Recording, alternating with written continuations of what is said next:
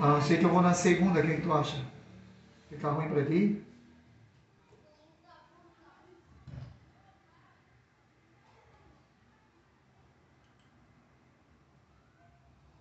Entendeu? Mas aí eu vou cedo, né? Olha a cara do cara. Ali 8 horas eu vou alinhando.